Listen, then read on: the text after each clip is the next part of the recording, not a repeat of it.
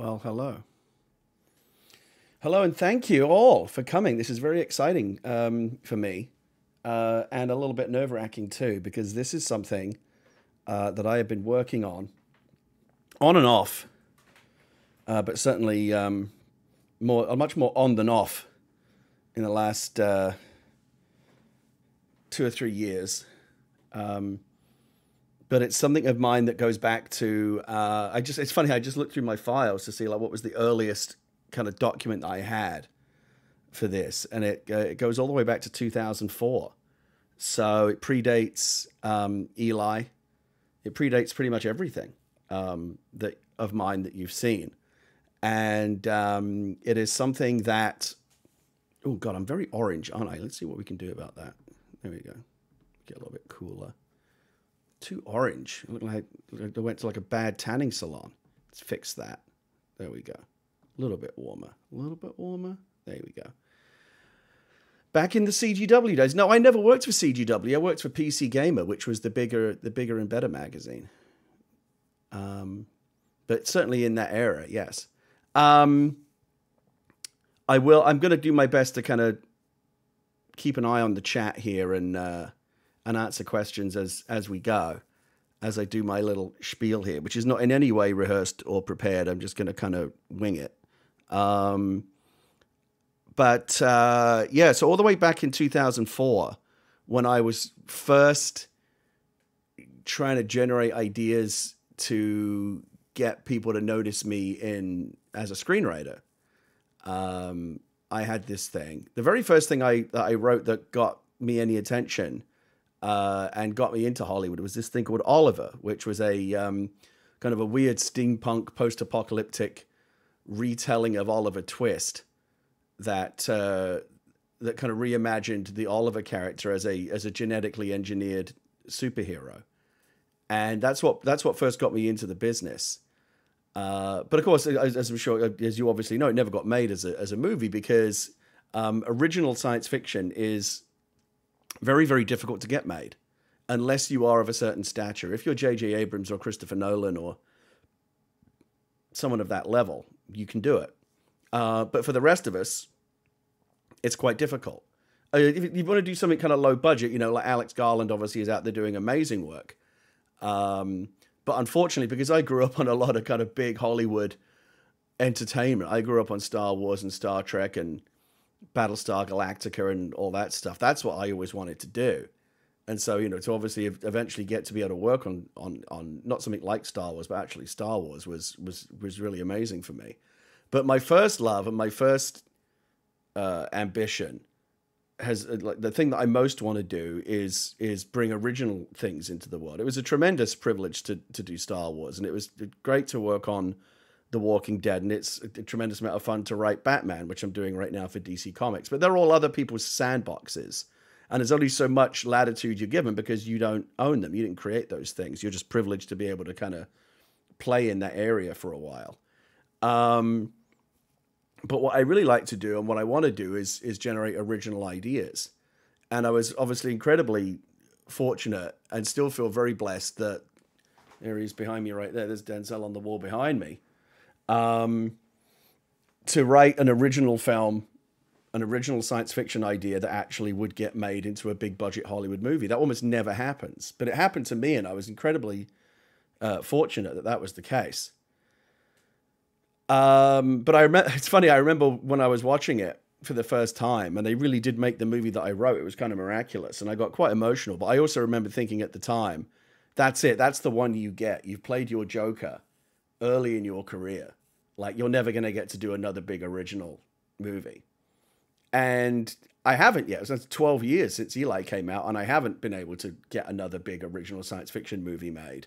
Oh, but I mean, I obviously can't complain with the direction my career has gone in. You know, again, I've got to do all these amazing things um, and and work on on on on incredible things. Uh, but I have been at the same time, even though even as I've been paying the bills, working on these big existing properties that own that uh, that um, belong to other people, belong to Disney and DC Comics, and you know so and so on and so forth. Um, I have also at the same time been kind of quietly working on things in the background that I want to do my like my own stuff, even though I know it's very very difficult. And the long the longer I've been in the industry, the longer I've been in this business, the more I've learned. I've learned many lessons, but one that I've certainly learned is like it's really really really hard to get original genre films made above a certain level of ambition or a certain level of budget, uh, unless you are one of these huge names. Uh, and so I kind of started to think about it a little bit differently. Um, and I tell you what changed it for me when I was in when I was in London working on Rogue One. So this would be back in what I want to say 2014. I I already had my next job lined up after that, and it was an adaptation of a Mark Millar comic book called Starlight, which was kind of a Flash Gordon type thing, and it was brilliant. I really, really loved it, and I and I got to go up to Glasgow and hang out with uh, with Mark, who obviously is an incredible talent, has created all these amazing things. And Mark kind of did a similar thing. Like he was like the the main Marvel comics guy for like the longest time, right? He wrote all the big, you know, Marvel comics. And then he decided that he wanted to do his own original ideas. And so he started generating his own ideas. And obviously like Kick Ass and Kingsman, Secret Service, and all that stuff came out of that. And I was talking to him about it, and he was talking about how he really feels like he's found the right approach creatively in terms of getting original stuff made. Because he does, you know, he has a huge profile in comics, so he does comics. Um, and he gets, you know, because comics is not a, a business with like various layers of, you know, executives and people above you telling, oh, you got to change it. It's got to be like this. You, you, for the most part, get to do what you want to do in comics and tell the story you want to tell, which is very, certainly most of the time not the case in movies. Um, and he was talking about how like listen I, I get to put out the comic book i tell the story i get my story in front of an audience the way i want to do it and then if it gets made into a movie down the road brilliant like that's gravy but that's not like the end game. Um, and i thought and i started to think about that and i started to think about how if you are interested in creating original stories in my case original science fiction stories um, hollywood is really the worst forum in which to do it because it is by far the uh, the medium, the industry that will put up most of a fight in terms of letting you tell your story the way you want to tell it. And of course, we understand why, right? There's huge amounts of money on the line. Like big science fiction movies cost can cost hundreds of millions of dollars to make, and people who are spending that money don't want to lose it, right? They don't want to subject it to unnecessary risk. And so one of the ways that they mitigate that risk and minimize that risk is by just basically doing things that they already know that people will like. More of the same. Let's do another Star Wars movie. Let's do another Marvel movie. Let's reboot this TV show. Let's let's make a movie out of this book that already sold 100 million copies. I, I, one example I give, and I give this example all the time when I talk about things like this, is if Suzanne Collins, who created the Hunger Games, had written that book, instead of writing a book, if she had written it as a spec screenplay for a feature film, I guarantee you no one's ever heard of the Hunger Games because no one makes that movie. Nobody uh, it's like, what? All these kids are murdering each other, and she's like riding around in a chariot, and her dress is on fire, and there's this fucking dude with blue hair. Like it's it's it's no pass. We're not doing it. But because she wrote it as a book, which is much cheaper to get through, you know, the system and get published. it's still not easy, but you know, you can publish a book. Um, and it went on to sell to sell, you know, many many millions of, of copies. Um, that suddenly becomes a much more palatable proposition for Hollywood executives. Oh my God, like how many people bought this book? Well, that's how many movie tickets we can sell, right? People that bought the, that like the book are going to want to see the movie version. So they go make the movie version. And so for me, like movies are still my first love, and TV as well. These days, of course, TV is kind of like in, on, on on parity with movies, really creatively and in terms of prestige. And that's what I like to do. I like to do things on the screen. I grew up watching movies and television, and that's what that's still kind of like the thing I like to do the most. Um, but take, but I've increasingly started to realize that in terms of original work, take try to take that direct route is the one that is least likely to have a happy ending. A few years ago, well, several years ago now, I had an idea for a, a movie I wanted to do called, do called Abomination, which was about um, a medieval knight who got cursed and turned into a horrible monster. And it was like a medieval horror movie. It was set during the the Viking invasions during the 10th, 10th century England. And by that point in my career, I'd been doing it long enough and I'd been in enough meetings and I'd been to enough studios and met enough executives and enough producers to already be able to like know exactly how that was going to go. If I were to write that story as a, as a spec screenplay, a movie that would probably cost anywhere between maybe do the cheap version for like 40, 50 million dollars with all the visual effects and what have you. And I go into the meeting. I mean, some office in Burbank or Santa Monica, wherever the hell it is. You do the small talk, and then they say, "Okay, Gary, what what have you got for us today? We can't wait to hear this idea of yours." And uh, I say, "Okay, right." It's 10th century England, and like right away, immediately, I can see them all just switch off. Like, oh, we're not, we're not making this 10th century England.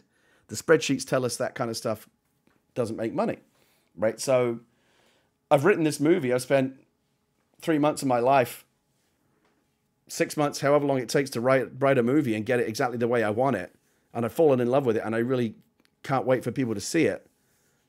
but then it but then it just immediately gets it takes about a week and everyone in hollywood says no and that's it. It's dead. And it can't come back from the dead like it's done. And you move on to the next thing. And so i spent like three months of my life pouring my heart into something that maybe 15 or 20 people ever read. Literally that like the, the, the executives and the people that read it around town maybe that maybe more maybe 20 or 30 but that's it and so that just ends up being kind of a big heartbreaking waste of time to see that script gather dust something that you know because you can't really once you've got a script like you can put it on the internet people can read it but it's not a finished product right? A, a, a script is not a house. It's the blueprint for building a house. And people don't really want to read scripts unless they're in the business or if they're interested in being a screenwriter themselves. They want to see the finished movie. And that's what I want to do. I want to make finished things that people can actually enjoy and see. So with Abomination, and this was shortly after I had met with Mark, I'd had the idea for it already. I thought, well, fuck, why not do what Mark does and like find a way to tell the story in a medium that allows me to do it on my own terms. And I'd never written a novel before, so I thought it could be interesting creatively for me to try that. And so I wrote it as a novel. And it was published uh, in 2015, and it went out there, and people liked it, and it was very well received, and I that was a win for me. I got what I wanted to do. I got to to have my story put in front of an audience and have them enjoy it and see the book sell and hear from people. I still hear from people. Oh, I really liked Abomination. It's brilliant. I love that. Um, and so that and so that's a win. And then and then of course this isn't really part of the calculation, but from a but like from a mercenary point of view, from a business point of view, once you write the book, Abomination wasn't like a wasn't like a Hunger Games level success or whatever, but had it been, it would also be a movie by now. So if you can if you can tell a story in a way that is easier to get in front of an audience, the way you want to tell it without like all kinds of creative interference and being fired and replaced by other writers and all the kind of things that happen on a daily uh, uh, basis in Hollywood. Um, if you can do that by publishing, for example, a book, not only do you get the creative satisfaction of knowing that your story found an audience, but now it's what they call, of course, as you all know, a piece of underlying IP. So, oh, that's a book. I know how I, I know how to turn that into a movie. I don't know how to do an original movie, but I can I can I can turn that in, I can turn that book into a movie, says Hollywood. And so maybe, you know, it becomes a movie. And I, I mentioned when I first broke in, I broke in with something called Oliver, which was this Oliver Twist story and um, again, my my managers, as soon as they read it, like they were like, "Yeah, when th- this is not, no one's going to make a movie. Like we like the writing, and we want to work with you as a writer. Like what else have you got? But like, no one's going to make this movie, and no one ever has." And that script sat around for a long time. And after Abomination was successful, I thought, well, maybe I can find other ways to get stories in front of people that don't have to immediately try to be like big, splashy Hollywood films. Again, I do. That's my day job. I'm writing like three different feature films for different people right now. Like I still do the Hollywood thing. Um, but in, but they're all other people's ideas. They're all other. Well, actually, that's not entirely true. I am actually doing a small science fiction film right now that's based on an original idea of mine that is theoretically theoretically getting made, but much much smaller budget. This what you're about to see tonight is a much bigger thing. Um, and and so I dusted off the Oliver script and I kind of reverse engineered it, reverse engineered it into a into a comic book script. And I talked to my friend Darick Robertson, who you may know, co-creator of The Boys, and he's actually my artist on Batman Fortress right now. He's a good friend of mine. Uh, we turned it into a comic book, and we set it up at Image Comics, and that came out, and that was successful, and people liked that. And so I thought, okay, maybe this is maybe this is the new way of doing business. Like I'll pay the bills by doing whatever the next you know, IP content thing is. Oh, do you want to work on, you know, another, uh, like whether it's Star Trek or Godzilla, whatever, all the things that are out there for writers to work on that belong to other people. And there is creative satisfaction to be to be found working on those things. But for me, not as much as creating your own thing and being kind of the master of your own creative destiny. And so, having had some success with uh, bringing Abomination to an audience in a way that I thought was creatively satisfying. And doing that again with Oliver, I started to think, well, what, what else could I do like that? Like the other things I wanted to make a, a big kind of science fiction feature film out of, but which aren't realistic to get made because uh, they're too expensive and they're not based on anything that anyone knows. And I'm not Christopher Nolan. I'm not a big enough name to justify it. So what? But what else could I try? And again, going back to 2004, and that brings us to this. I had this. I, I, I didn't even remember this, but it used to be called uh, "A Boy and His Robot." That's what it was when it was um, first devised because I always wanted to do something with a big giant mech, like a big robot. Like I'm not terribly familiar with, you know, Mech Warrior and BattleTech and those kind of things. I played the first Titanfall game, and I'm aware, like I'm just aware of the concept of like big fucking giant walking tanks, like weapons platforms that walk around, like these big colossus things. I've always it's just like a super cool idea, and I've always wanted to do my version of it. Um, and that's what back in 2004, Boy and His Robot was.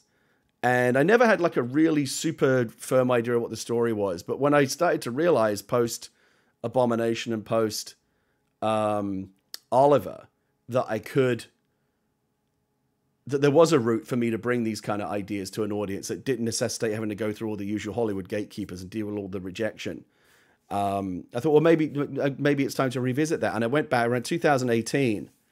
I went back and I started kind of digging into it, and I fleshed out the idea a little bit more. Um, and I really enjoyed writing Abomination as a as a novel, and I thought I'd, I'd, like to do I'd like to try and do that again. I thought you know I, I, learned a lot about how to write a book, and I thought it was quite I thought I did quite a good job with Abomination. I just really enjoyed writing it. I thought, man, let's try it with this. Abomination is a very specific thing. It's like medieval, supernatural horror. Um, and this is more kind of like near future post apocalyptic sci fi with aliens and robots and stuff like this. So still very genre, but like very much at the other end of the spectrum. Um, and I started to think, okay, so I'm going to write a book, and I and I and I wrote it, and I wrote it. It took me about I don't know, because I because I only ever work on these things like when I've got time when I'm not being paid to do other things. So on and off, I I think it was finished around 2020. Like over the course of two years, I wrote the book, and it was just sitting there. And I was like, okay, well now what? What do I do with this book? And again, I could have I could submit it to publishers, and there's a decent chance, given you know the th- stuff that I've done in the past, that somebody wants to publish it. But I thought, I don't know, it just seems kind of like very unimaginative way to do it. There's got to be more an interesting a more interesting way to do it. And as luck would have it, this was around the same time that I was having a lot of fun and also a lot of success with animal talking. Back in 2020 was the year of animal talking when, you know, we did the the Animal Crossing talk show on Twitch and that really blew up and we had tens of thousands of people watching us and Selena Gomez and Sting and Brie Larson and gorillas playing music and it was just mad. And it really made me think about the potential of Twitch as a platform to bring different kinds of I hate the word content, but different kinds of stuff, but different things to people. And Twitch are very, I think Twitch themselves as a company are very excited about the idea of Twitch not just being seen as a place where people go to watch other people play video games. Like, you know, music's really big on the platform right now, comedy. Like, they're trying to find ways to kind of make it like an entertainment platform and not just video games. And so I had this idea to take the book and rather than submit it to a publisher and wait like two years for it to come out or whatever. Would have it, that's actually how about long how long it's taken to get here because they kind of did it the hard way. I thought, well, I'll self-publish the book, just put it on Amazon, and we'll just just see what. Because I just wanted to see what would happen if I did something without anyone in between, like anyone in the middle, no publisher. I hired an editor, and you know, I worked with different creative collaborators on it, but like there was no one above me that could pull the rug. When you work on like big Hollywood movies, you're constantly thinking like is this next draft that I turn in going to be the last one before I get fired? Or is the movie going to get canned, you know, for reasons that have nothing to do with, to do with me? Um, like I lit, like I, I worked on a movie that literally got like, got shit canned like six weeks before production and it was all set to go and they and they pulled the plug and i was so upset i almost quit the business over because why even bother like you put all this work into it and like it, it, gets killed for reasons that aren't even creative reasons. They're like, you know, they're, they're economic reasons or things that have nothing to do with you. Hello, David Peterson. Interesting time for you to show up. Um, and so I, I think that actually might have been the, the, the, the, snapping point for me is I can't do this again. I can't continue to work on things that I really, really, well, it was an interesting time for you to make yourself known, David. I'm sure that wasn't coincidental. Um, I'm tired of working on things where um, I'm constantly like waiting for the other shoe to drop. Am I going to get fired? Am I going to get rewritten? Is this movie going to get you know tossed out for reasons that are nothing to do with you? And I just wanted to have something where I controlled my own creative destiny. And so I thought I'm not even going to go through a traditional publisher. I'll just self-publish the book. and I get to decide when it comes out. I get to decide all the key creative decisions on it. And for better or worse, when you see this thing and experience this thing, as you will very soon, not just the the trailer tonight, but like the the actual kind of weekly show that's going to be starting soon for the for the for uh, nine weeks, as I believe how many episodes we have nine nine episodes, nine weekly episodes. Um, I just it, it's it's all on me. Like if you like it, that's on me. If you don't like it, that's on me. Um, and I just wanted to do something that that was like from me to you and no one else in between, and just re- and again communicate directly with an audience and do it in a way where we are actually communicating. So what I did was I took the book and I chopped it up into nine pieces, and through doing animal talking and through my day job in Hollywood, I am fortunate enough to know people in show business, people who act, people who write music, people who make things and collaborate on cool stuff. And so I called a few people up and I said, Would you be interested in helping me make this? And amazingly, they all said yes. And so what we did was we took the book and we adapted it into an audio format, essentially an audio book um, that, that is now in the form of nine kind of weekly episodes. And we're going to do a bunch of different things with it. Um, it's going to be available on podcast services. That, that's going to happen very soon. I'll have a podcast feed for you to subscribe to very soon in the next week or two. And so if you want to listen to it, you know, on your own time when you're driving the car or doing the laundry or whatever, you'll be able to listen to it just like you would any other narrative podcast. Um, it's all, it'll also be on my YouTube channel, youtube.com slash Gary Whitta. The, all the episodes will be archived there, and you'll be able to watch it whenever you want to watch it. But kind of the flagship, I don't, I don't, I don't know if it's necessarily the version of, of this that most people, if most people will watch it this way, but it will certainly, I think, be the most interesting way to watch it. Is each episode's going to debut before it's on a podcast, before it's on YouTube. Each episode will be here on this channel on Twitch and each I'm every episode I'll show up much as I am here now uh, and I'll introduce the episode kind of like masterpiece theater style and uh, I'll talk a little bit about the episode no spoilers or anything and then we'll switch over to another scene and it's an audio it's essentially a radio show it's all audio and there's stuff on the screen for you to look at, but it really is just because, you know, there has to be something to look at. But it's 100% an audio project, it's an audio drama. And so I'd like a radio show, like a radio drama. But if you've ever read an if you've ever read an audio book or listened to an audio book, you'll you'll be familiar with what this is. We've done a couple of things with it that are a little bit more ambitious than than a traditional audio book, I think. Uh, but it is for the most part a format that you're familiar with. What is that? Oh, that's my. I should really turn my alerts off. There we go. When people, when people subscribe to my YouTube channel now, because my YouTube is connected to my Streamlabs, um, I get an alert here. I have no idea how that works, but I do. But somebody went to my YouTube channel when I just mentioned it on the stream there, and they went and subscribed. And please do do that. Go to uh, YouTube.com slash Gary Whitta because we're going to be doing a lot of stuff there that's not on the Twitch channel. There's going to be the the original soundtrack is going to be there. Um, there's going to be some behind the scenes stuff. There's going to be other bits and pieces as well as just the episodes. Um, but as I was saying, the flagship part of this, and we're working with Twitch on this because Twitch are quite excited about this because they again they like the idea of showcasing Twitch as as a platform for things other than just um, watching people play video games. I mean, that's great. That's what I do, right? You mostly mostly watch me play Fall Guys. But animal talking was something different, right? And people liked that. And so this is something different as well, obviously, uh, in a very different way, though. And so what I imagine is, and what I hope will happen is, as we play each episode, each episode's about an hour long. So the whole thing, I think, is a little under nine hours. There's nine episodes. So like when, so like when episode one comes along, which will probably be in a in a in a few weeks, there's a couple of other things we're going to do bef- to get ready before we launch it, but it's very it's very very close now. It's it's almost done. It's almost completely done. Um, when episode one is playing and you're hearing the narration and hearing the story, you'll all be hearing it and listening to it and experiencing it together because you're all here in the chat. And so, what I want to try and create or recreate is like an old, like almost like a cinema type experience where everyone experiences it together, or almost like a radio show where you know, like the, like people kind of around the radio in the olden days, kind of listening to a radio show together. But you'll all be doing it live in the chat. There'll be hundreds of you here. I don't know how many, but there'll be a lot of people here. And if there is like a big plot twist or a surprising thing happens, kill off a major character, an unexpected moment or whatever, you all get to react to it together and and do kind of like a commentary like a watch along as you're going. I won't. i am going to step back, and you guys are going to listen to it and experience it, experiencing it together.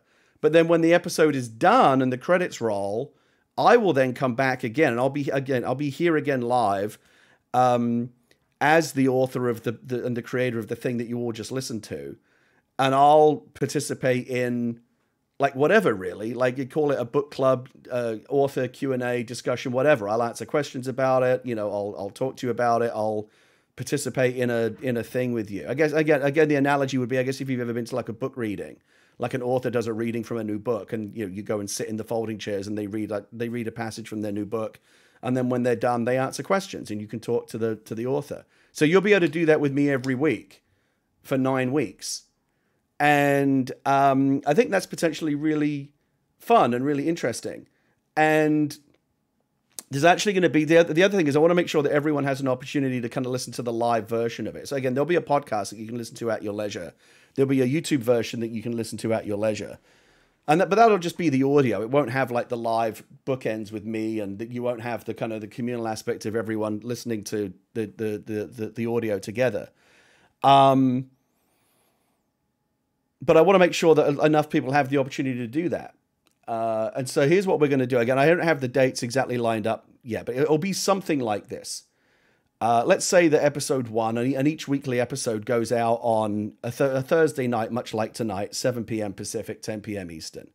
And it runs for like an hour and a half, two hours, because it's an hour of audio, but then you've also got like my intro and my, and, you know, the back end at the end when I answer questions and what have you. Um, but if you're in the UK or Europe or somewhere else in the world, like that's like four o'clock in the morning, right? You can't, you're probably not going to stay up for that. So after the Thursday night broadcast, like will, that will be the premiere broadcast, I will come back, let's say on Saturday morning or Sunday morning, like 11 a.m. my time, which would be like the evening in the UK and Europe. And we'll just do it all again. We'll just do another performance. I'll come back live. I'll introduce it again. We'll run the audio again. You can all listen to it, and then I'll do another Q and A, and that'll be basically like a matinee performance for people in different time zones. Because I really want to give everyone the opportunity to kind of listen to it live without having to stay up, you know, until four o'clock in the morning. Plus, I think it'll be fun, and I get, you know, this way we all get to do it. I don't know if anyone's going to want to come back and listen to it all over again, but the uh, the, the point is that wherever you are in the world, there'll be a there'll be a, a performance of it that will hopefully not be too inconvenient for you to come and, and, and participate in live. So that's the idea. Um, and so I've been talking for a while. I think maybe we should just kind of like um, we should just kind of like get into it. And yeah, I, I, I, see the messages in the chat. Obviously, I, I, don't know when Critical Role goes live. I don't, I, or when like the, the best nights to do. I, I'm going to look into. I'm going to I'm going to look into that. Like if Critical Role goes out on Thursday night at seven o'clock, I probably won't do that because you know those are the big boys, and I'm a little little minnow um, over here. Um, but we'll see. Look, look, this is an experiment, and I have no idea if this is going to work. And I fully expect to not make any money out of this. This is all going to be given away for free. Uh, obviously, the Twitch channel, you don't have to subscribe or anything to come listen to it. This will it'll be open. Obviously, the YouTube channel is free, and the podcast will be free. You won't have to subscribe to it, and there won't be any advertising on it either. Because I don't want to make money on it. I make money at my day job. This is kind of like a weird little side project, science fair, school project. Let's see what let's see what happens if we try and do something weird and different. Um, and I think it is kind of interesting because essentially we are publishing a book. Uh, you know, this is this is adapted from a you know a, a literary work that I wrote, um, and it's an audio book. But again, instead of being on Audible, it'll be here, and it'll be serialized in nine weekly chunks that everyone gets to gets to listen to together. And so I think you know it's kind of like it's you know it's kind of disruptive, I guess, like in a cool way. Like no one's ever used Twitch quite this way before. No one's ever published a book quite this way before, but that's what we're going to be doing. I'm going to be publishing a book over the course of nine weekly episodes. And then at the end of all of that, when the when the when the nine weeks is up and the story's concluded, um, I will actually publish the book. Like the, the the book that this is adapted from is still sitting around. Like this doesn't replace the book; it's just additive to it. But the audio version's coming. Weirdly, the adaptation is actually coming first, and you're going to listen to it first. But not every not everyone loves listening to audiobooks, right? It's it, it's interesting. Audiobooks, you may not know this, are like a third of the market of publishing. Like a third of the people that buy and read books are actually people that are listening to audiobooks. It's a massive segment of the market. So you kind of have to, if you want people to take your book seriously, like publishers, you have to do an audio book. Um, an abomination, you know, had an audio, but I didn't have anything to do with it because again, I didn't control it. Um, but uh, the book will be published, and that is something that you will pay for. I'm probably going to publish it just through like Amazon and iBooks, and there'll be an ebook uh, that you'll be able to read on your Kindle or whatever device you have, and we'll I'll, I'll, put like a reasonable price on it, like five bucks or whatever, and then there'll be a paperback version, maybe that's ten bucks. I don't know, but that'll come out at the end. I actually am going to before we're done here tonight. I'm actually going to show you the cover of the book, and I'm going to show you a bunch of stuff, and you're going to see things. And here I've got concept art, I've got the trailer, I've got original music. There's all kinds of stuff that we're going to get into. I've been we've been doing this for like 45 minutes, and I haven't even shown you anything yet. So I'm very uh, grateful to the 637 people that have been patient enough with me to like get to this. But um, very few very few people know what this is. The people that have been working on it with me, which is like I don't know, maybe 10 15 people know what this is. Um, and I've always had to like whenever I've talked because I've talked about this in vague ways on the on on the stream before, and I've always had to say like, oh, the thing, the project, the new thing. I can never say the name of it because I want to like you know that, that's been a secret for a long time. But that's going to end right now because we're going to run the trailer.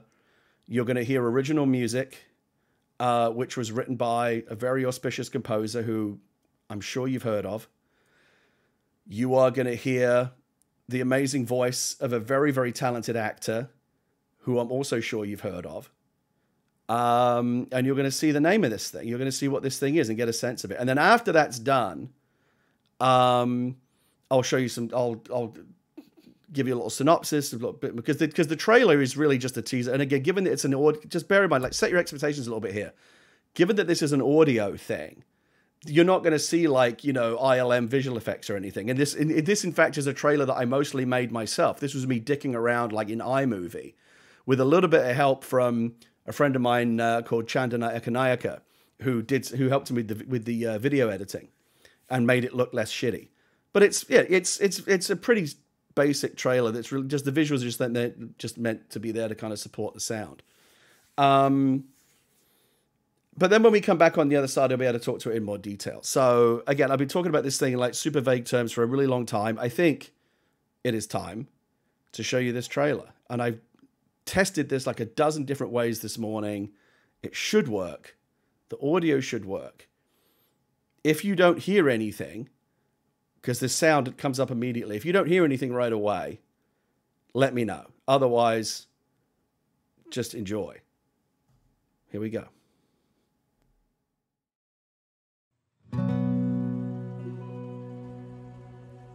Much of our history is lost. But here's what I know they came to us in peace, offering a new future for our people our planet, asking little in return. Then came the war.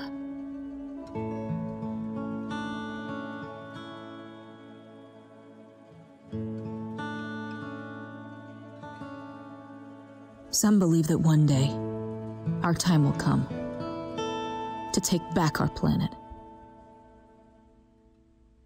My name is Dakota Bregman. That's it. That's all I know.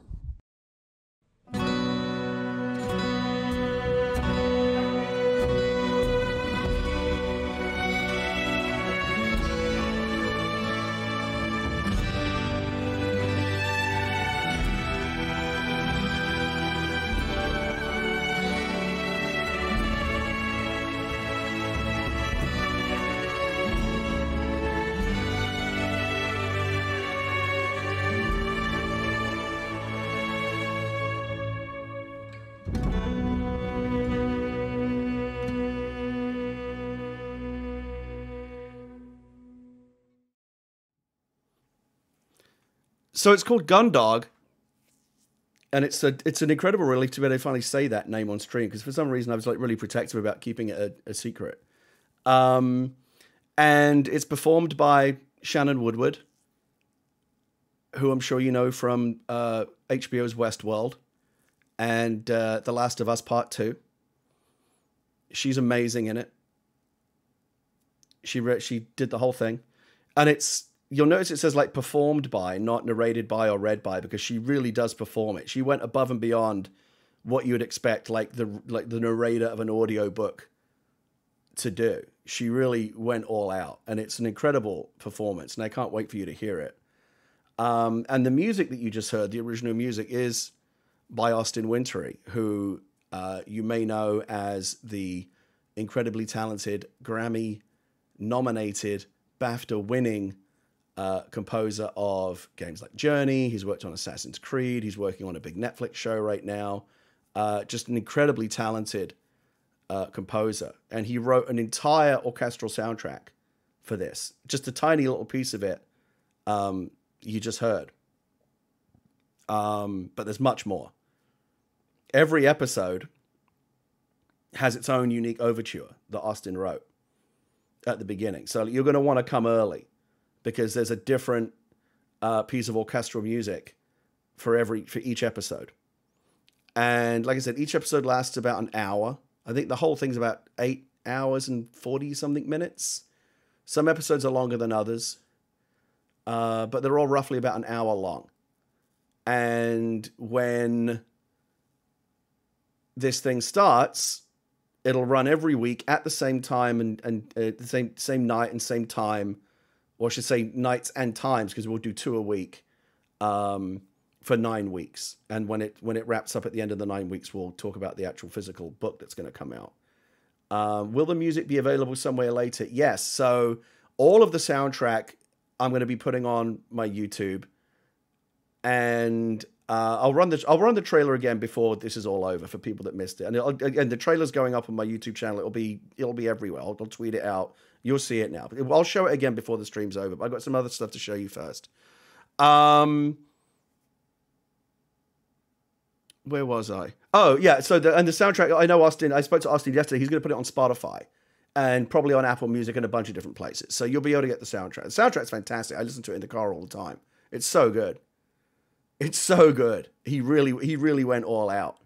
Um, so beautiful music, incredible uh, performance by Shannon. Uh, she really kind of she really like got her teeth into it and just did an incredible incredible job. Um, and I don't know how much you're really able to discern from that trailer because it really is a very very vague teaser trailer. It doesn't really tell you anything other than um, there was some kind of war, science fiction gun dog. What's a gun dog? I don't know. What is that? What is gun dog? I don't know. Well, I have a little synopsis that I'm going to share with you that'll tell you a little bit. I had a longer synopsis, but I thought it gave too much away, so I went. I, I went and did a shorter one. So um, this is the this is the synopsis. In the near future, Earth has been conquered by a race of alien machines known as the Mech, and an entire generation has grown up under their brutal rule. When a rebellious young woman imprisoned in a Mech labor camp stumbles across a mysterious map that may hold the secret to liberation she embarks on a dangerous journey that leads her to an amazing discovery a long lost prototype war machine that will spark the beginning of humanity's fight back against their alien oppressors. I can confirm to you that the long lost prototype war machine is uh, a 60 foot tall, 600 ton mech that is the most badass fucking thing you've ever seen in your life. It is so fucking cool. And I'm very excited for you to see it. Um, and see it you will even though it's an audio uh, project. In fact, I can show it to you right now because I have some concept art. You want to see some concept art? Here's Dakota with the gun dog. And uh, this is this is an original design that was done for us by a concept artist by the name of Owen Freeman, who's incredibly talented. And I kind of told him like what elements of mech design I was excited by and showed him some stuff from the book that described what the mech looks like and how it's armed and how it moves around. And he, he came up like this was the first version that he did, and I was like, oh my god, that's exactly what it looks like. That is exactly what I had in my head. Was this was was like basically this. It's I don't I don't know really how big like other mechs are, but it's this is it's big and it look maybe it looks smaller than it really is there because Dakota is, is standing like way way way in front of it, and there's some perspective um, in play. But yeah, in the book, it's described as uh, about 60 feet tall and weighing about 600 tons. So I don't I don't know how that compares to like other things in the mech canon, but it's a it's a big bastard. And it's got some very very cool tricks and toys. Like I said, it's an experimental prototype, and so it does some really really fucking cool shit. Um, this is the mech prison camp that was described in the uh, in the synopsis. In the future, humanity has basically been all the all the all the humans that survived the invasion of Earth by these uh, by these aliens, who are it's, it's essentially a machine race. They're not an organic race. They're all they're all basically kind of robots and machines of different kinds. And the remaining survivors for the last twenty years have been kind of rounded up and put in concentration camps and that's kind of where the story begins with uh, Dakota, who's this young woman who, um, whose mother fought in the war and died when she was very young, and she's grown up. Well, the only kind of only really life she's ever known is living in these camps, and she has an opportunity to escape, and uh, and go find them. Go for, again for reasons that will become more apparent when the story's being told. Uh, unites her with the with that big ass mech and um, lots of ass kicking ensues. And I think it's uh, I think it's very very cool. Um, so that is for that is for the most part it. I want to. I, I, have one. I have a couple of other things to show you. Um, but first of all, I want to. I, I, I'm sure I'll be doing this as lot as as as time goes on. But I want to make sure that people um, know, even though I say, oh, this is all me and I wanted to do something all by myself, obviously Shannon, I couldn't have done it without, there's no way I was going to read this myself. Um, she does an amazing job. I mean, she doesn't just read the story; like she basically, like, really does kind of play the, the character of Dakota Bregman, the the protagonist of the story. Um, oh, and one other thing I forgot to mention: there is a special mystery guest actor in this who we're not going to reveal ahead of time and we're not going to name until they actually show up. I believe episode three they show up for the first time, and then they're in the rest of it. Um, but uh, I'll be interested to see if you can guess who it is, because it is one of the most recognizable names in this field. And when you find out who it is, you will shit because I can't believe he agreed to do it, but we got him and he's in this. And it's very, very, very cool. We're actually going to have a contest because he plays one of the mech, he plays one of the alien robots. And we put his voice through so much artificial processing to make him sound like a robot. It's very, very hard to figure out who to figure out like who's actually underneath all of that. Um, but he did an incredible job. And I'm gonna when when the time comes, we're gonna run the episode. And one of the things you guys can have fun with in chat maybe is like when you when you hear it, you'll know, oh shit, this is the this is that thing that Gary was talking about. Um, and I invite you all to guess. And we're actually going to have a little contest. So we're doing a thing with Ray. I forgot. I forgot to mention this. We're doing a thing with Razer. Um, uh, Razer provided us with a bunch of um, equipment to help us make this project, laptops and other bits and pieces. And uh, they actually shot a whole behind the scenes video about how this was made in the studio with Shannon when Austin was composing. They came here to my office and they shot like a whole behind the scenes documentary, and that will be coming out at some point in the near future as well. Um, but I believe the last time I, I spoke to Razer, they liked the idea of like kind of the mystery guest thing, and they said, "Why don't we do a contest for who can guess who the who the mystery voice is, and we'll give away a prize to whoever uh, can is, is the first to guess it or whatever. And so I think I think we're going to give away some like cool Razer headphones or something on in episode three on the back end for people who uh, for for someone who like and everyone who selects correctly guesses it. We'll pick someone at random, or we'll play marbles or something. Who the fuck knows? But we'll find someone and you'll you'll get a there's there's some there's some cool Razer goodies. But I think you will be very pleased and very amused when you when you find out who it is.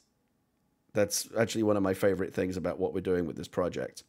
Um, and so, oh, okay. So to that to that point, I, I, and again, I'll be doing this a lot. You'll probably get sick of hearing me do it, uh, as I'm sure they are already sick of hearing me saying it to them. But like, I couldn't have done this without Shannon. It's she's incredible in it, and she devoted so much of her time recording this. Not just the eight hours in the booth, but it's actually a lot more than that.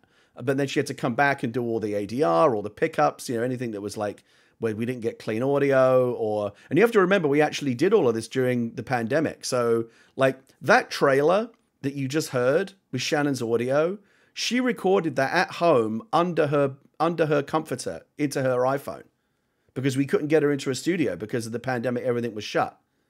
And so we kind of like found a way to kind of make it work. And some of it she recorded at home in her home studio some of it we did at Austin's facility, his home studio, and some we did at a professional recording studio in Burbank. Um, and we kind of chopped it all together. And given that we had to do it under very, you know, kind of pandemic conditions, I think it actually sounds pretty good. We did a lot of audio cleanup work on it uh, to make it sound like as good as something as you would hear on Audible or whatever. You know, Audible will charge you like 20 bucks for a book. Again, you're going to get this for fucking free uh, just because I'm such a nice person. Um, but yeah, Shannon and Austin will get a lot of credit and praise from me for this. But like everyone knows they're a part of it, right? Because they're up front, like their names are on the trailer with mine. They are the kind of the public faces of it because they're kind of, you know, what they call above the line.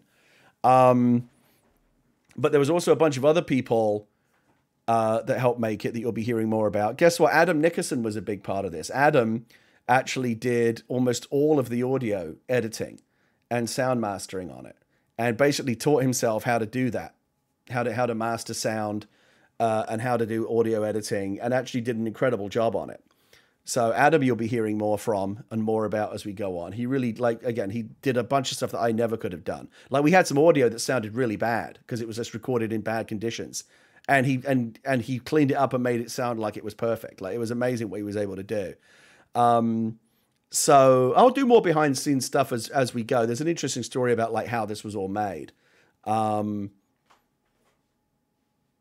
but Adam did a ton. Chandana, who did helped with the trailer editing and designed that logo that you saw. Oh, I should put the logo up on the screen. I forgot that I have that. There you go. So like when I'm here, when I'm here over the nine weeks, we'll have like very impressive graphics like this that took me all of two minutes to put together. Um, that's Chandana's logo that he did. Very, very cool. Um, who else? Streamlabs created custom stream graphics for us that you'll be seeing when we start when we start running the show. Custom graphics and animations. Um, I'm trying to think who else. I'm going to blank on some names, but there's there's I, we'll get to it. There's a lot of people to to make sure they they are properly um, credited for this. And um, so I'm going to wrap. I'm going to show you a couple more things before we go, but I don't want to keep you for too much longer. You guys have been. I appreciate you been sticking around for the whole hour. Uh, I hope it's been interesting enough, and I hope you'll. I hope you will come back for the actual broadcasts, the actual shows, because I think it's really, really fun and interesting and something different, a different kind of way to spend time on Twitch. Put headphones on, and just you know, kind of be told a cool story and and listen to it and comment along with everyone else. It's something something you know you don't typically see on on Twitch. Um, and like I said, there'll be two different broadcasts of it. And then going forward, here's what I think we're going to do. I think either in a week or two weeks from now, I'm going to come back here and we're going to kind of show, oh shit, Billy Sunrider, I forgot. I'm so glad you mentioned that. I forgot. In terms of like the different pieces of this, um, and I have no idea if this is a terrible idea or not but there's the podcast, right? There's the audio thing. There's the physical book, the ebook that will come out at the end. Um, I did actually have commissioned and made from the same people that do all of Critical Role's merch, all of their uh, their their kind of miniatures, their pieces.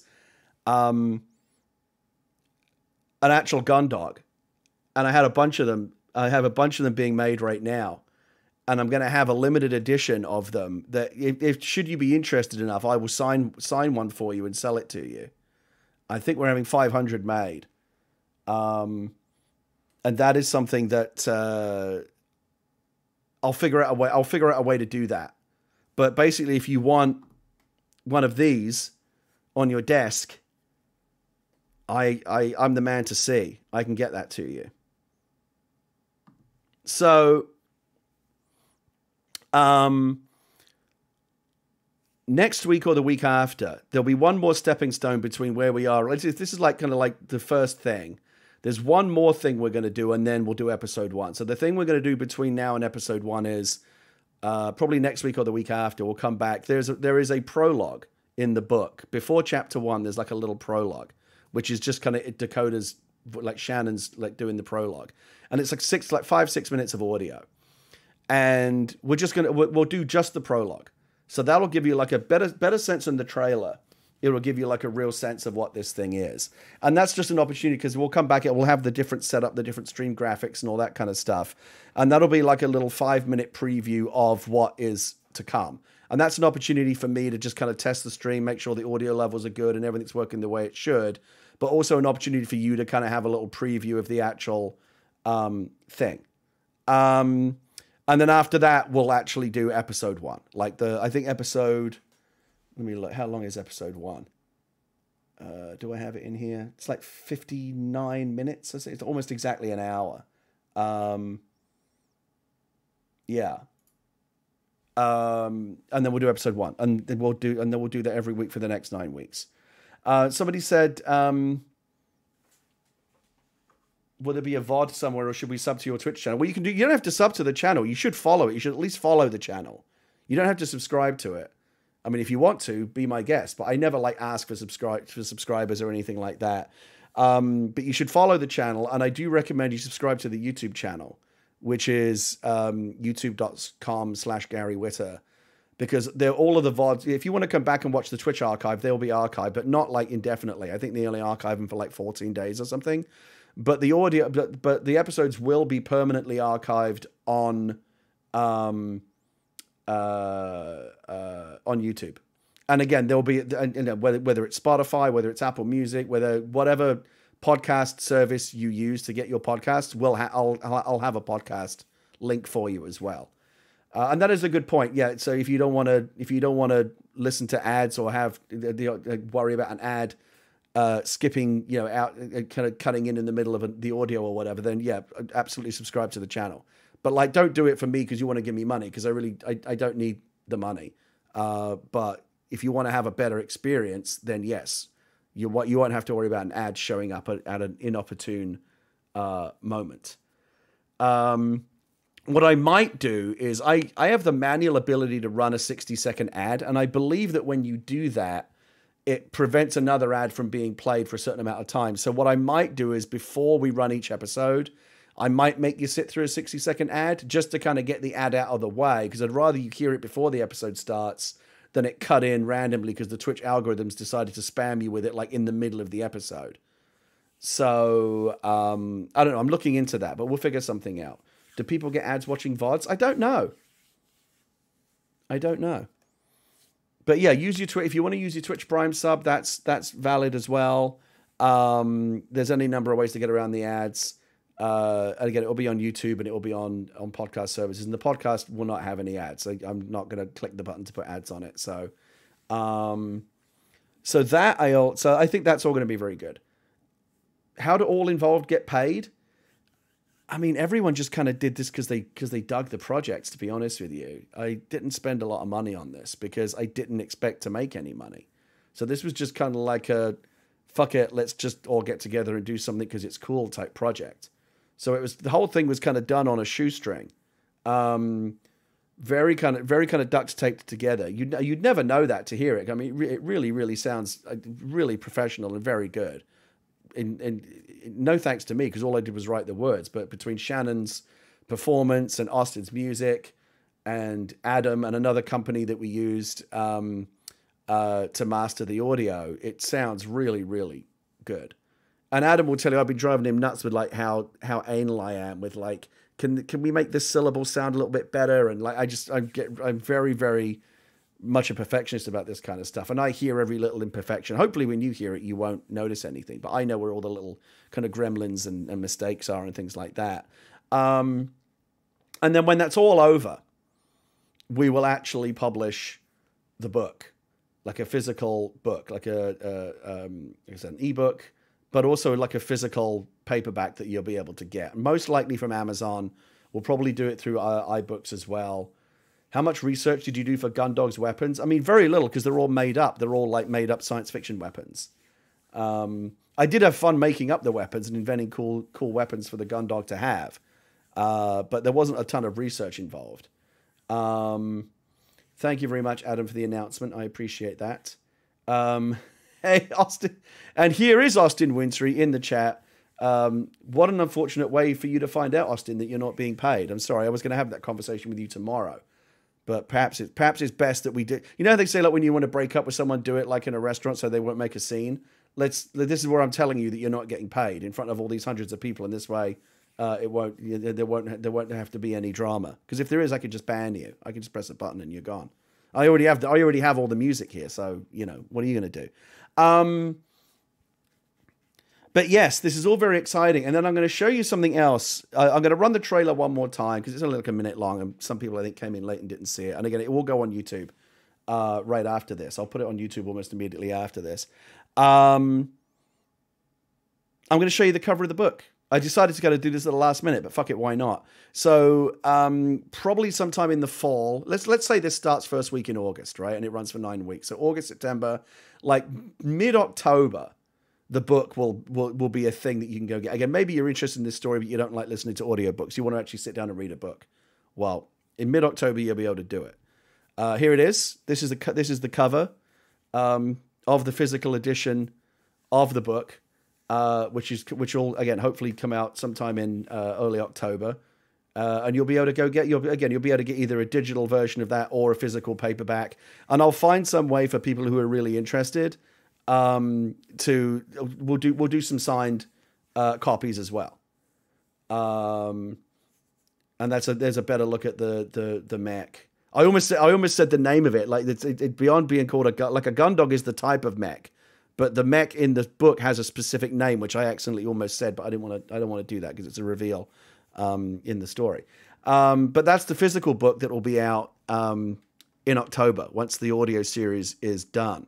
Um, so who knows what to expect? Who knows if anyone's going to show up? Uh, you know, a bunch of you showed up for this announcement because I hyped it up and made it sound like it was going to be an exciting thing. Maybe you're not that excited about this. Maybe no one's going to show up for episode one. Maybe you like, maybe you listen to episode one and you hate it. Maybe, maybe by the time I get to episode one, it's just me and Adam sitting here listening to it.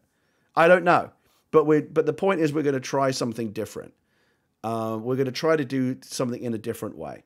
We're going to try to bring you a story in a way that isn't just publishing a book or putting a movie in a movie theater uh, or a comic. I mean, all of those things are valid and brilliant. I'm not in, in, any way denigrating those things. I just wanted to try try and do something in a different way for once. I'm glad you're da- I'm glad you're excited, David Peterson. I have a lot of lot of a lot of respect for your creative instincts, and if you like it, then that makes me feel feel good about um, uh, giving this a try.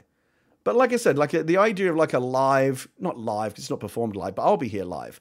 A quite a, a kind of semi-live uh, audiobook, radio drama, sci-fi thing uh, that will that will use the medium of Twitch to kind of play out, and you can all listen to it together and comment in the chat together and compare notes and talk about if you loved or hated it. And again, I'll answer questions. I'll talk about what might be coming up on subsequent episodes. If you're, you know, something you're not sure on, you've got a theory or whatever, I'll, I'll do my best to kind of engage with you on that. I'll, I'll, I'll be around to kind of talk about it because it's exciting for me to. T- I've worked on this for a long time. Like I said, this goes all the way back to 2004, and I started writing the book in 2018.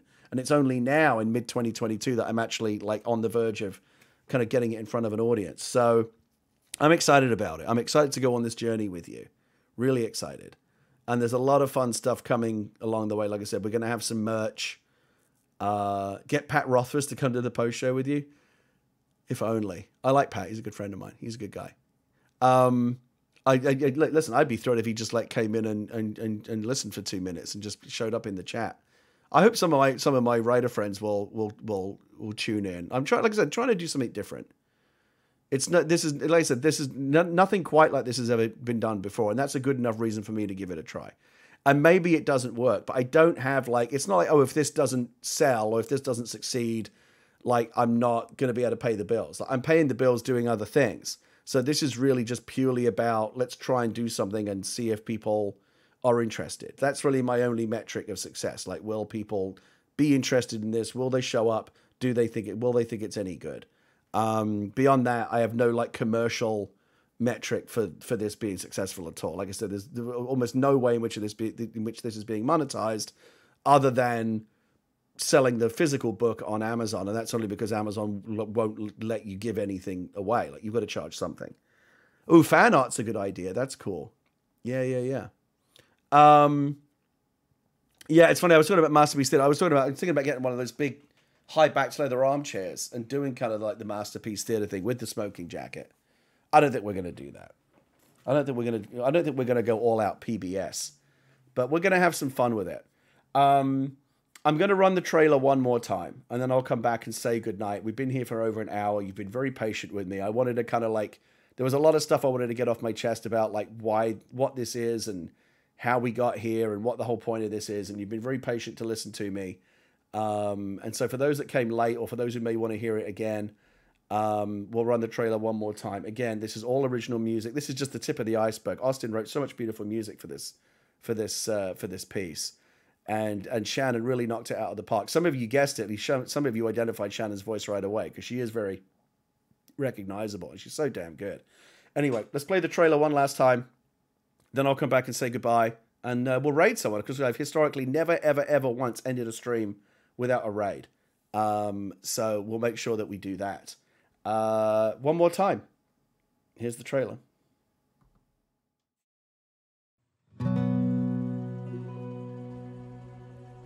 Much of our history is lost. But here's what I know they came to us in peace offering a new future for our people, our planet, asking little in return. Then came the war.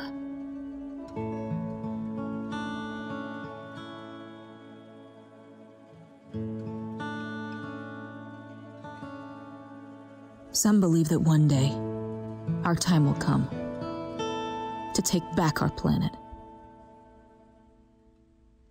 My name is Dakota Bregman. That's it. That's all I know.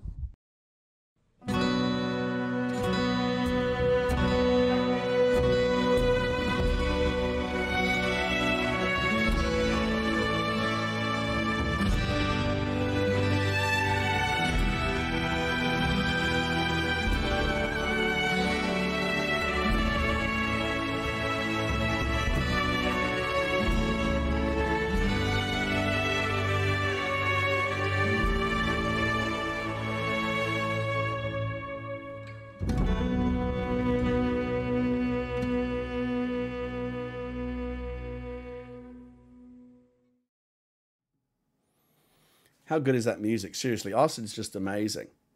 Some of you, when we when we were in the waiting room, were like, "Oh, this has kind of a Last of Us type vibe to it." And that, in fact, Austin will remember. That's literally what I said to him. Was like, "I kind of want this to have a Last of Us type vibe to it." Like, I didn't, even though it's a very high tech story, I didn't want it to have a a high tech set. I wanted it to feel because a lot of the a lot of the story is kind of set in the, like the American Midwest. Um, like uh, places like I don't, know, I don't know if you really consider this Midwest, but like a lot of it takes place in like Wyoming, and uh, North and South Dakota, places like that. And it's I wanted it to have kind of a very rustic kind of vibe, similar to similar to kind of the um, you know the, str- the, the the guitar strings of um, of The Last of Us, and Austin kind of captured that really really well. Um, and you'll be hearing a lot a lot more of his music. You heard it in the waiting room, uh, and there'll be more of that. Like like the like the 10 minute countdown that we always have to streams like you're going to want to come to those because there's original there's original music over every one of those Like it's not just like placeholder, you know, like copyright free bullshit music. It's actually the soundtrack of the piece um, that will be playing. It'll be and it's and I believe Austin wants to do like a different piece each time. Um, so it's really really cool. I'm very I haven't had a chance to like um, fully uh, uh, absorb all of the comments from the chat because I was just like talking a lot. But I'm gonna go back and watch the VOD and just like make sure I heard if anyone's got like questions or comments. I'm gonna try to like make sure I see as many of them as possible after the fact. I did what I could while I was um, while I was here with you, uh, but um, I want to go back and make sure that I didn't miss anything cool. 8-bit D, thank you very much. I hope you'll be showing up for each of the nine weeks that we do this. Um, Linda Wells 0307, congrats, Gary. This is exciting. And that's my mother in law, so she has to like it. Um, but nevertheless, I very much appreciate her giving me uh, the thumbs up, and uh, I think she'll really enjoy it as well. um, Gymnasium, thank you very much for uh, Twitch Prime. Thank you very, thank you very much for two months. Welcome to the LOG. Can't finish a stream without having at least one welcome to the LOG. And that's it. So stay. So uh, the other thing is, if you don't already follow me on Twitter, make sure you do that at Gary Whitta on Twitter, G A R Y W H I T T A, just like the name in the Twitch channel. That is probably where I'm going to be doing most of the announcements for this. Um, if you want to know what the schedule is going to be, if you want to know like when when the episodes are going out, if you want to know when we're going to be doing that prologue broadcast, which will be between this and the full on episode one launch, follow me on Twitter and make sure that you're, you're seeing those tweets because that's where the information uh, is going to be coming out. But like maybe as early as next week. Um, and uh, Gundog, in fact, is not too long for Lewdle. We have six letter words in Lewdle now. It's just not a lewd word. I mean, I guess you could make it one. Um, but um, yeah, maybe as early as next week we'll be back here and we'll do like we'll really get into it because we have like this whole six minute prologue that I want to play for you guys, uh, and then we'll, and then after that we'll get really really into it with um, the the first hour long show.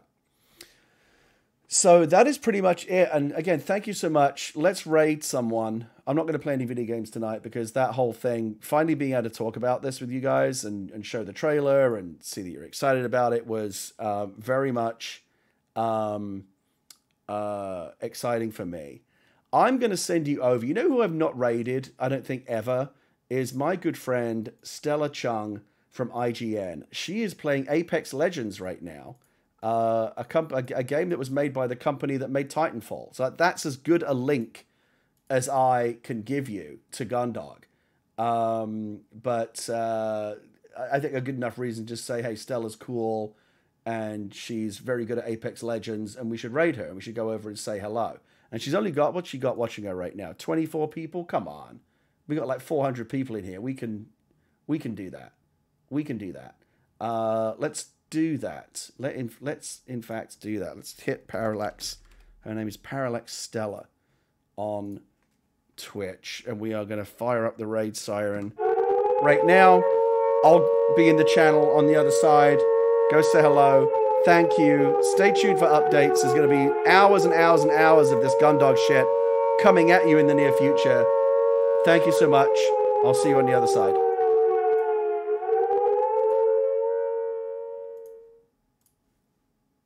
he swung back through to like two yeah. different times. So I'm gonna I'm gonna.